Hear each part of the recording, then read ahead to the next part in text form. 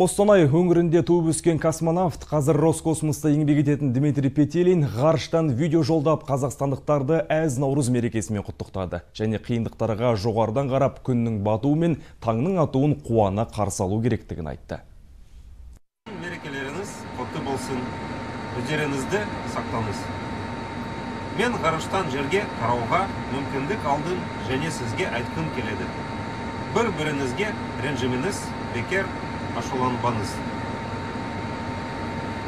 Біздің планетамыз үлкен және өте әдемі орбитадан мұндай әдемі жерде қиындықтар болуы мүмкін емес сияқты.